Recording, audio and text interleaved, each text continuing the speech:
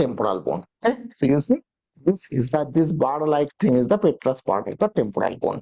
Here in this side and here in this side. Okay, so that is the petrous part of the temporal bone. This is the petrous part of the temporal bone.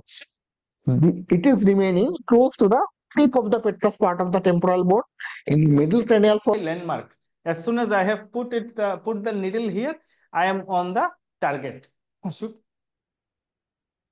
So uh, what is the first step? After putting the probe like this, I will infiltrate here. I will give some local anesthetic infiltration here.